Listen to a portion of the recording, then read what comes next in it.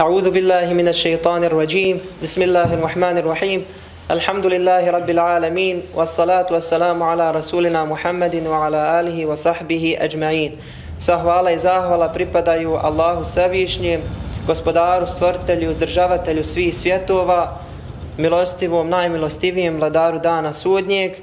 Donosimo salavate i šaljemo salame na našeg prvaka, našu vezu i usmjeritelja Rasulullah sallallahu alaihi wa sallam, njegovu plemenitu porodicu i uzorite ashabe. Mladići i djevojke i svi vi koji pratite ove naše halke, Assalamu alaikum. Sa akšam namazom, sa akšamom nastupila nam je Mubarek noć petka. Znamo da je petkom sunnet učiti suru Al-Kahf.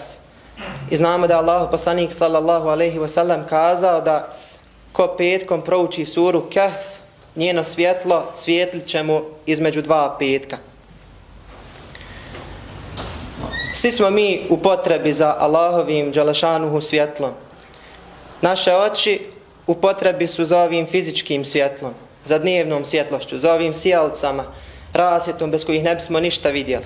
A isto tako i naše duše imaju svoj duhovni vid koji se naziva El Basira. I on je također u potrebi za svjetlom ali za duhovnim svjetlom. A to duhovno svjetlo je Allahova Đelešanuhu uputa koju crpimo iz Kur'ana časnog. Sura Kef svjetlo nam između ova dva petka. Dovimo Allahu Đelešanu Kur'anskom dobu, dovom Rabbena etmim lena nurana vagfir lena innaka ala kulli in qadir. Gospodaru, upotpuni nam naše svjetlo i oprosti nam jer ti u istinu sve možeš. Lijepo je da ukoliko ima neko da ne zna učiti da prouči suru Kehf, lijepo bi bilo makar da pusti, da nađe na mobitelu i da pusti tu suru i da uputi Allahu Đelešanuhu dovu da spusti svoje svjetlo u njegova prsa, u duše njegovih ukućana i u njegovu kuću.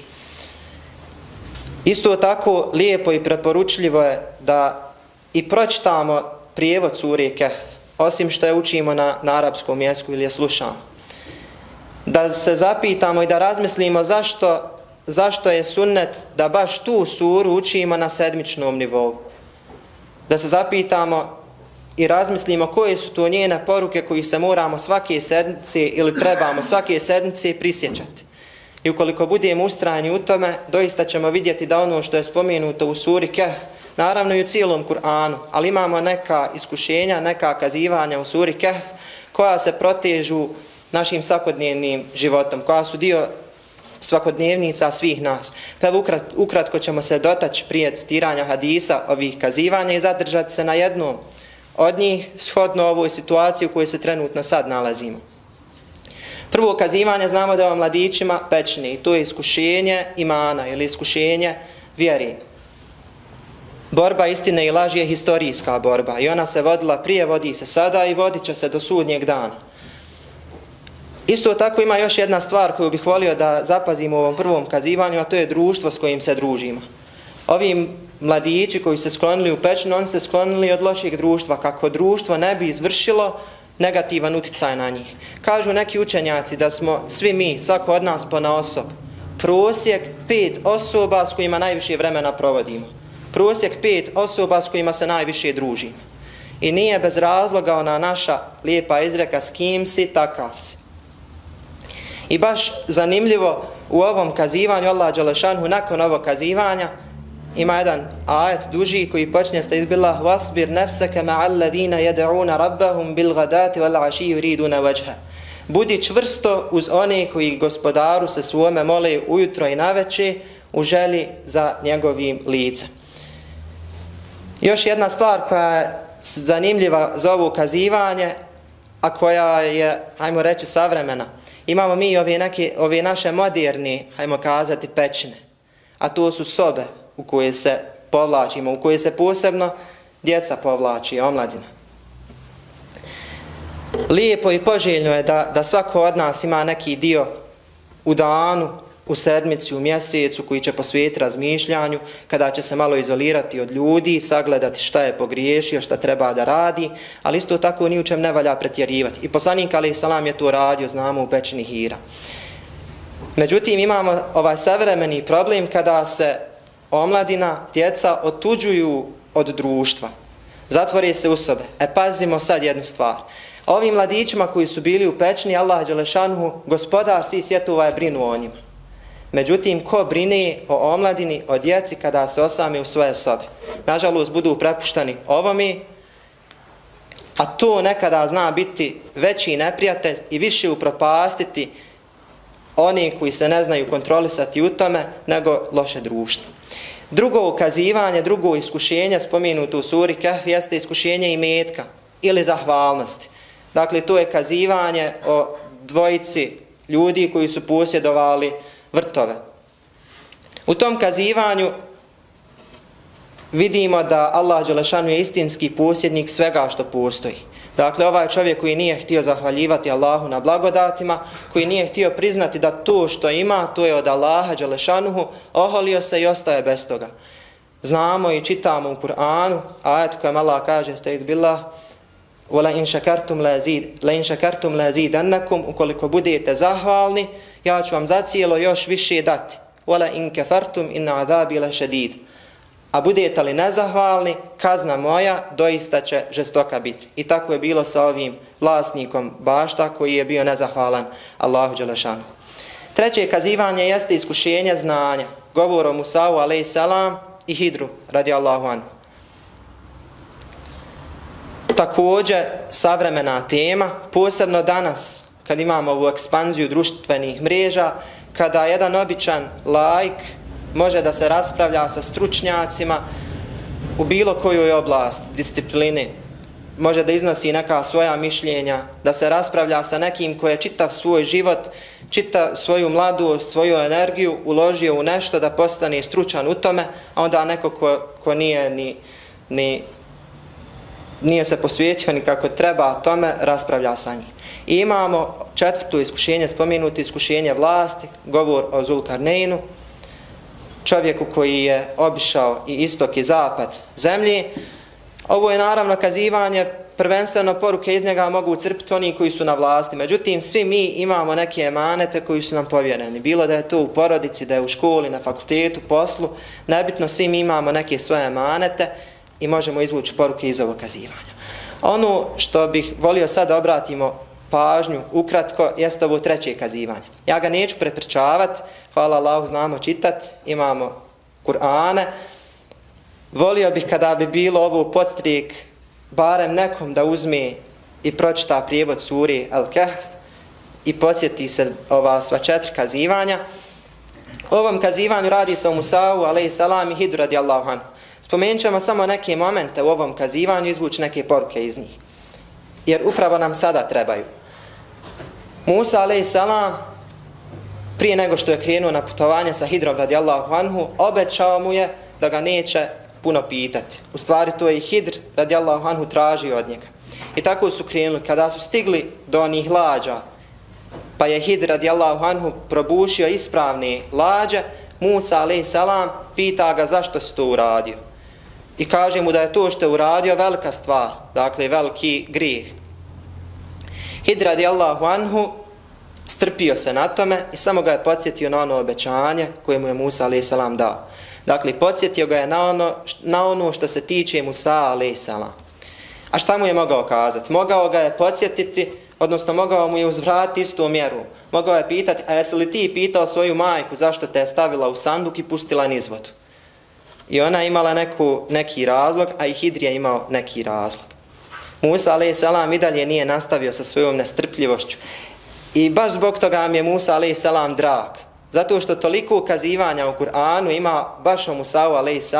i toliko mi možemo naučiti iz primjera Musa a.s. A sve ove osobine neke koje Musa a.s. imao pri sebi, nažalost, mnogi od nas imamo, hoću reći ove neke, hajmo kazati, negativne osobine. Na primjer, nestrpljivost kod nas je dobro, mnogo više izraženija. I mi možemo mnogo više naučiti iz ovih kazivanja. Musa a.s. i dalje nastavio sa nestrpljivošću, pa kada je Hidr ubio dječaka, Musa a.s. pita zašto si to uradio, to što si uradio je jako ružno. Ubio si nekoga ako nije ubio nikoga, a Hid radijallahu anhu ponovo se strpio i ponovo je podsjetio Musa a.s. na ono što se tiče Musa a.s. na njegovo obećanje koje mu je dao, da ga neće pitat. Nije mu kazao, pa Musa a.s. i ti si nekada ubio čovjeka koji nije ubio nikoga. Dakle, strpio se. I treće, kad, treća stvar, dakle, kada su ponovo nastavili putovanje, došli su do onog ušli su u jedan grad i stanovnici nisu fino prihvatili i ponovo, bez obzira na to, Hid radijallahu anhu obnavlja onaj zid, on je fokusiran. Njega, njega ne zanimaju ove neke sporedne stvari. Ne zanima ga to što ga stanovništvo nije prihvatilo kako treba, ni njega ni Musa a.s. Neće da se svijeti nikomi. Neće Musa a.s. da mu vraća istom mjerom na, na njegova pitanja. On zna tačno šta radi, tome je usmjeren i to radi. Sve ove udare sa strane on odbacuje od sebe. Obnavlja zid i Musa alaih salam pita ga ponovo, a zašto nisi uzeo naknadu za to? radi radijallahu anhu ponovo je mogao Musa alaih salam uzvrati istu mjeru, mogao, je, mogao ga je pitati, a zašto si ti u Medijanu pomogao dvijema djevojkama i zašto nisi tražio nikakvu naknadu za dobročinstvo koje su uradio. Sve ovo imamo u Kur'anu i kazivanja Musa alaih salam i ovo Hidru. Međutim, nije to uradio. Nego mu je obrazložio kasnije sve ove stvari koje, koje je želio da mu kaže. Međutim, šta mi možemo naučiti iz ovoga svega? Dakle, Musa a.s. pitao je Hidra radijallahu anhu stvari koje je vidio kod njega smatrajući ih negativnim, nepoželjnim. Međutim, zaboravio je da je te stvari iste i on imao kod sebe. Nekada u svojoj prošlosti. I mi kada vidimo nekoga da griješi u nečem, Nemojmo osuđivati tu osobu koja griješi, nego osuđujemo taj grijeh koji ta osoba pravi. Zašto? Zato što moguće da tu stvar i mi smo imali nekada pri sebi, u prošlosti. Ili kada vidimo nekoga da nešto radi, nikad nemojmo kazati ja to nikad ne bi uradio. Jer znajmo da nećemo umrijeti dok istu tu stvar i mi ne uradimo. Da nas Allah Đelešanuhu sačuva toga. Molim gospodara da uzmemo poruke iz ovih kazivanja i da nas sačuva toga da budemo sitničari. Jer poslanik sallallahu alaihi ve sellem kaže propali su sitničari. A to je kod nas danas vrlo rašireno. Bavimo se onoga što se tiče drugih tuđim stvarima, a pritom zapostavljamo neke naše grijehe. Toliko imamo posla svi na sebi da kada bismo se posvijetili sebi ne bismo imali uopšte vremena da se bavimo drugima. Jedan moj profesor je uporedio šta znači, odnosno na primjeru pokazao šta znači sitničar u svakodnevnom životu.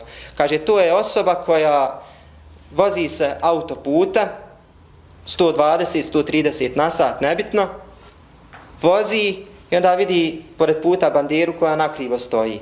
I onda on se zagleda u tu banderu, a koli je nju onako u krivu postavio. I gleda tako, ne obraća pažnju na put, auto ide, a on gleda u tu banderu. I znamo kako će ta osoba završiti. Dakle, čuvajmo se toga, ne budimo sitničari, budimo poput hidra, radi Allahu anhu, fokusirani na ono što radimo. On je bio fokusiran i nije dao napadima sa strane da ga usporavaju. Našim neprijateljima moramo se baviti, moramo razmišljati o njima, ali tek toliko da se sačuvamo njihovih smicalica. Ni u čem ne valja pretjerivati, jer ukoliko pretjerivamo u bavljenju njima ili bilo čime drugom, onda to vodi u drugu krajnost, a to je demotiviranost, neaktivnost, pasivnost i tako dalje. Molimo gospodara svevišnjeg da nam podari svjetlo u srcima našim, svjetlo na jezicima našim. Molim gospodara da nam podari svjetlo u sluhu našim, svjetlo u vidu našim, svjetlo iza nas, svjetlo ispred nas, svjetlo iza nas, svjetlo iznad nas, gospodaru naš, podari nam svjetlo. Amin. Još uvijek smo u poglavlju, odnosno u knjizi koja govori o kuranskim seždama. Poglavlje jeste o seđdama, dakle onima koji smatraju da kuranske seđde nisu obaveza, stigli smo do 1077. hadisa i u ovoj predaji se navodi Hadesena Ibrahim bin Musa kal Ahbarana Hisham ibn Yusuf Ana ibn Đurejđ Ahbarahum kal Ahbarani Abu Bakr ibn Abi Mulejka An Uthman ibn Abdirrahman at-Taymi An Rabija ibn Abdillah ibn Hudeir at-Taymi قال أبو بكر وكان ربيع من خيار الناس عما حضر ربيع من عمر ابن الخطاب رضي الله عنه قرأ يوم الجمعة على المنبر بسورة النحل حتى إذا جاء السجدة نزل فسجد وسجد الناس حتى إذا كانت الجمعة القابلة قرأ بها حتى إذا جاء السجدة قال يا أيها الناس إنا نمر بالسجود فمن سجد فقد أصاب ومن لم يسجد فلا إثم عليه ولم يسجد عمر رضي الله عنه وزاد نافع عن ابن عمر رضي الله عنهما إن الله لم يفرد السجود إلا أن نشاء Pričao nam je Ibrahim bin Musa, njega obavijestio Hišam bin Jusuf, da im je saopćio Ibn Đurejđ. Đurejđu prenio Ebu Bekr bin Ebu Mulejka od Osmana bin Abdurrahmana Tejmije, a on od Rebija bin Abdullaha bin Hudeira Tejmije, za koga Ebu Bekr kaže, Rebija je bio jedan od dobrih ljudi. Dakle, prenio je Rebijevom prisustovanju džumi, kada je Omer ibn Hattab radijallahu anhu na Mimberu jednog dana citirao ili učio suru, citirao ajati suri Nahl, kad je Omer došao do seđde, sišao i učinio seđdu, a i svijet je učinio seđdu. Sljedeći džumi, Omer radijallahu anhu je opet učio istu suru i kad je došao da seđde, rekao je Ljudi učimo ajate seđde, ko učini seždu pravilno je postupio, a ko ne učini nije pogriješio. Omer radijallahu anhu tada nije učinio seđdu. Nafija dodaje prenoseći od Ibn Omera radijallahu anhu, Allah nam kuransku seđdu nije odredio obaveznom dužnošću i mi je činimo ako hoćemo. Prije nego što uh, prijeđemo na neke poruke samog hadisa, volio bih da obratimo jednu pažnju na jednu stvar. E, imamo, evo ovdje ponovo sad nastaju rasprave među učenjacima, da li je kuranska seđda obaveza ili je pohvalno da je radimo. Vidimo ovdje jednu stvar. E, kada učenjaci kažu da je nešto obavezno, da je nešto pohvalno, da je nešto zabranjeno, naše je da to slijedimo. Naše nije da mi sami izlačimo propise iz hadisa, iz Kur'ana, jer možemo upasti u jednu zamku tu. Dakle, mnogi ne poznaju arapski jezik, mnogi ne poznaju povode objave, mnogi ne poznaju, ne poznaju kontekst u kojem je nešto nastalo, Mnogi ne poznaju šta je objavljeno prije, šta je objavljeno kasnije. Pazite, teško je poslanikov, ali i selam, život, njegovu misiju, koja je trajala od 40. do 63. godine, da je sažmijemo na nekoliko stranica ili na nešto što smo mi preslušali u par predavanja ili pročitali u par knjiga. Dakle, naše jeste da slijedimo ono što Ulema kaže. Naše nije da mi izlačimo propis. Imao sam jednu e, situaciju kada je jedna žena kazala e, da pročitala ona u Kur'anu na ajetu o vjernici ne približavajte se namazu kad ste pjani. I ona mi je rekla kako, evo kaže, evo dokaz da se može piti alkohol mimo namaza.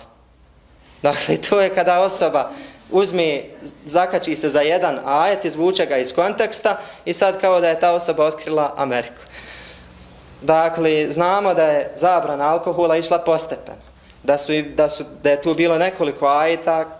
Prvi ajet koji je govorio o tome, dakle, koji je bio naznaka zabrani da u alkoholu ima dobra, da ima štete, ali je šteta veća od koristi.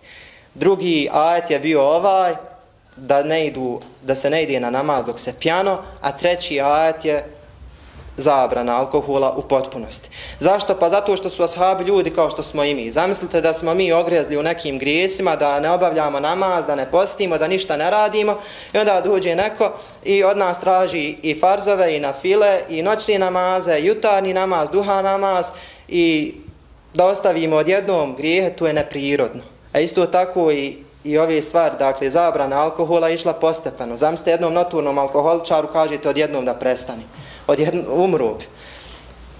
E dakle, i sa drugim stvarima možemo upasti u istu, u istu zamku. Stav hanefijskog meshaba jeste da je obavljanje e, sežde prilikom slušanja i učenja Kur'ana vađib. I dakle, kada čujemo seždu, ima, imaju argumente za to i kada čujemo seždu, ali pritom ne osporavamo stavove drugih mesheba. Dakle, onaj mesheb kojeg slijedimo, onda ga slijedimo u potpunosti. To isto, evo, recimo, kad imamo doktora, imamo neku bolest, neki problem i odijemo, imamo deset različitih doktora. Možemo mi otići svakom od njih, posavjetovati se, konsultovati se svakom od njih. I paste, svaki od njih propiše neki lijek. Ali šta, gdje možemo napraviti grešku? da sad pokupujemo sve one, sve one lijekove koji su propisali od prvog do desetog. Pa nakupujemo punu kesu lijekova za neku stvar za koju je bio dovoljan jedan lijek. I ko snosi odgovornost? Mi je snosimo. A onako da slijedimo jednog doktora, on snosi odgovornost za ono što radimo. On preuzima naše liječenje i odgovoran je za konačni ishod. Dakle, tako i u, i u ovim stvarima, ako slijedimo, nemojmo od vjere praviti švedski stu. Uzet ću iz ovog mesheba ovo jer mi se sviđa lakše iz ovog ovo, iz ovog onu. Dakle, ako slijedimo ono što kaže Hanefijski meseb, ako smo Hanefije, onda slijedimo Hanefijski meseb i slušamo našu ulemu kako tumači, kako to tumači. Ne tumačimo samo inicijativno. E, sada ćemo na, da izvučemo nekoliko poruka iz hadisa. Dakle, evo nekoliko prethodnih hadisa je govorilo o seđdama. Volio bi da se pri, da podsjetim i sebe i vas na još jedan hadis koji govori o seđdi. Naime, jedan ashab je došao i pitao poslanika sallallahu alaihi wasallam, odnosno tražio od njega, zamolio ga da ga pomogne da bude u njegovom društvu u džennetu. Ashab moli poslanika alaihi salam da ga počasti svojim društvom u džennetu. I poslanik alaihi salam ashabu na molbu uzvraća molbu. Pa mu kaže da i on njega pomogne sa što više činjenja seđdi. Učenjaci kažu da ovdje činjenje seđdi podrazumijeva namaz. U drugom hadisu se kaže da svaka seđda je dobro djelo, briše je grijeh i podiže, i podiže našu deređu. Sada nas podsjećam na jedan ajet iz Kur'ana u suri Merijem kada Allah Đelešanuhu e, opisuje, govori o poslanicima, dakle najodabranijim ljudima, a nakon toga, nakon govora o poslanicima, ide jedan težak, strašan ajet kaže njih smijeniši naraštaj koji namaz ostaviši i za požudama pođoši. Oni će na propast naići. Sad se zapitajmo svi, jesmo li mi ti naraštaj koji Allah spominje ovdje? Namaz ostavili, strastima se okrenuli. I šta kaže? Kaže da će na propast naići. A u nastavku Allah Đelešanu kaže osim onih koji se pokaju i vjeruju i dobra djela čini. Oni će u džennet ući i nikakva nepravda neće im biti učinjena. Pazite, mi mnogo pričamo i govorimo o Allahovu i Đelešanuhu milosti, što ne osporavamo. I naša obaveza jeste kakav je naš život. Naš život je između straha i nadi, ali više prevagnjuje nada nego strah. Dakle, više se nadamo Allahu i Đelešanu milosti. Ali pasite, da bismo se nadali milosti Allaha Đelešanu i da bismo je očekivali, moramo i mi nešto dati. Zamislimo sad jednog poslodavca. Vjerovatno većina vas radi i bavi se nečim, ima svoje nadređene i u opisu posla vam stoji šta treba da radite.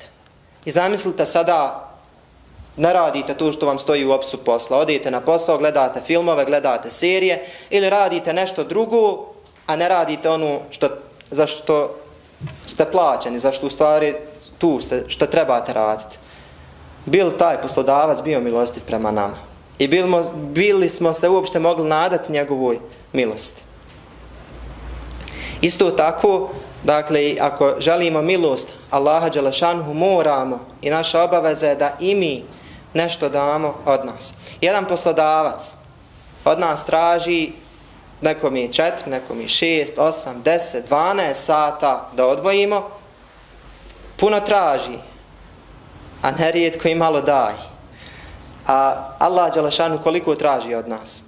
Traži pola sata, eventualno sat vremena dnevno. A daje nam i kisik i vodu i ruku ne možemo pomjeriti bez njegove volje i daje nam taj posao koji imamo pa za koji kažemo da zbog tog posla nemamo vremena za Allaha Đelešanuhu sve nam daje šta smo to mi bolji od naroda koji sada torture proživljava? Da li zahvaljujemo Allaha Đelešanu na blagodatima kojima, koje nama daje? Kažemo mnogi kažu nemamo vremena A kada bismo kazali da se otvori vamo postavke, da se nađi koliko dnevno, koliko smo danas vremena potrošili na mobitel, vidjeli bi imamo li vremena za Allaha Đelešanu? Je li se nema vremena za onog koji je stvorio vrijeme i koji je stvorio nas na kraju krajeva? Smisao našeg postojanja. Zašto postojimo? Zašto smo ovdje? To određuje onaj ko nas je stvorio. I on kaže u Kur'anu Este iz bila vama halaktul džinne wal insa ila li abudun. Džine i ljude sam stvorio samo zato da mi robuju. Mi smo ovdje kratko. Veoma kratko. Evo vrijeme prolazi sedmica za sedmicu, mjesec, godina. Deset godina prebrzo prođi. Kratko smo ovdje i brzo će doći trenutak kada bi mogli odgovarati, ne dao Allah za, za ono što nas, što nas je što nas je promaklo. Najveća laž koja ovdje na našim prostorima prisutna jeste ja se bojim samo Boga. Nažalost, mnogi ljudi, naš narod, boji se svakog drugog, i šefa, i profesora, i policajca, i supruge, i supruga, samo se Boga ne boji. Jer da se bojimo Boga, ne bismo smjeli zanoćiti, a da nismo klanjali. Ne bismo smjeli nečiji hak uzeti. Ne bi poslodavac smio ne plati svog radnika. Ne bismo smjeli nepravdu činiti. Ne bismo svašta nešto. I gdje bi nam kraj bio da je istina ovu samo se Boga bojim. Naša dijela dijeli se na tri, na tri stvari. Trojaka su. Obaveze prema Bogu, obaveze prema ljudima i obaveze prema sebi. Prva stvar za koju ćemo biti pitani, imamo dva hadisa koja nisu kontradiktorna. Jedan hadis kaže da ćemo prvo biti pitani za namaz, a drugi hadis kaže da ćemo prvo biti pitani za prolivenu krv. Paste, kad je pitanje odnos mene i Boga, prvo za što ću biti pitan jeste namaz. Ako on ispravan i ostalo ispravno. Ako nije namaz, nije ni ostalo. A prva stvar za koju ćemo biti pitani u odnosu sa ljudima, šta je najgore što možeš nekom i uraditi? Ubiti ga. Njegov život. To je prolivena krv. I pazite sad, ima osoba koja samo se brini o odnosu s gospodarom. Samo klanja, posti i daje zekijat, ali je nije briga za ostali ljude. Šta kaže poslanik alaih salam za takvu osobu? Da je bankrot. Dakle, doće sa namazom, sa postom, sa zekijatom, ali ogovorio onog, potvorio onog, slagao na onog, oštetio pravo onog, i sad svi će oni uzimati njegovih namaza i posta i zekijata, pa kad toga nestane, onda će mu prebacivati svojih loših dijela i zato je bankrot. A imamo osobu koja se posvijeti samo ljudima i šta je ta osoba uradila? Stavila je nekog drugog na Allahovo mjesto.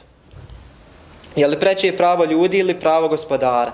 Dakle, moramo voditi računa o sve tri stvari. Odnos gospodarom, odnos ljudima i odnos prema samima sebi. Kad je riječ o Allahovoj dželešanuhu milosti i našem odnos prema namazu, neke osobe nekada spriječava da stanu na namaz grijesi koje čini. Pa misli da se Allah dželešanuhu neće smilovat i onda odgađa taj namaz. Kaže, kad se ja popravim, onda ću stati na namaz taj pristup je pogrešan. Prvo stanimo na namaz, a onda popravljajmo ono što se treba popraviti. Bio je jedan mladić za vrijeme poslanika, alaih selam, danju bi klan, noću bi klanjao, a danju bi krao.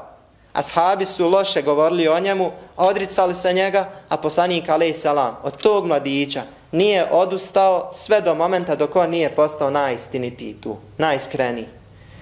Dakle, kakav je bio odnos poslanika ali islam prema njemu. Možda imaš neki grijeh pri sebi. Možda imaš neku slabost koju je želiš da se riješiš, ali ne idi.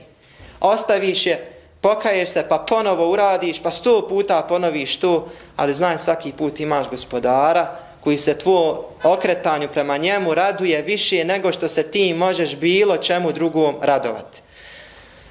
Raduje se da stupiš na namaz, da se okreneš njemu više nego što se ti možeš bilo čemu drugom radovati. Šta kaže Allah Đalešan za namaz? Inna salata tenha anil fahšaj wal munker. Namaz doista odvraća od razvrata i svega što je ogavno.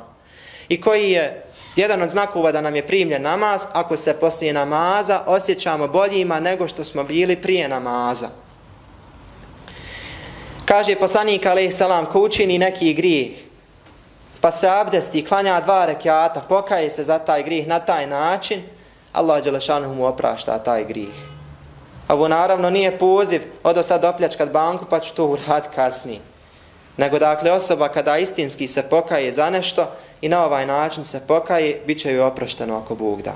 I može se desiti taj grijeh ponoviš 50 puta, 100 puta, 1000 puta i opet isto postupiš, opet se u sebi tako pokaješ, znaš da ti je slabost, bit će ti ako Bog da oprašteno. Ali isto tako ćeš istrenirati sebe da taj grijeh ostaviš. Biće ti vremeno mrsko da se abdestiš i da ponovo klanjaš ta dva rekiata i da ponovo moliš. Za oprosti da proživljavaš taj osjećaj. Sav onaj život koji smo imali prije sebe, koji je neko imao prije sebe, onog trenutka kada gospodaru stani na namaz, na sečtu, nova je prilika da sebi privređuje najviši džennetski deređe. Evo još malo završavamo, samo bi da nas još podsjetim na slučaj Omera radijallahu anhu. Znamo da je on ubio svoje rođeno dijete, živo je svoje dijete zakopao. Vjerovatno bismo ga svi otpisali. Međutim, on je primio islam, stao na namaz, postao je uzor i tebi i meni i svima nama i svim muslimanima svijeta uzor dobra. I jedan je od desetorci koji ima na zemlji džennet obećan. Šta god da imaš pri sebi, koji god grijeh da imaš pri sebi, znaj da pokornost Bogu nije uzalud. Sestro koja nosiš hijab, a imaš pri sebi grijeha brdo, znaj da tvoj hijab nije uzalud. Brate, koji se obra, oblačiš kako islam od tebe traži, a ne obaraš svoj pogled, znaj da tvoje oblačenje nije uzalud. Ti koji klanjaš, a imaš pri sebi grijeha, tvoj namaz nije uzalud. Ako Bog da će te odgojiti i pomoć će te da ostaviš te svoje te svoje grije.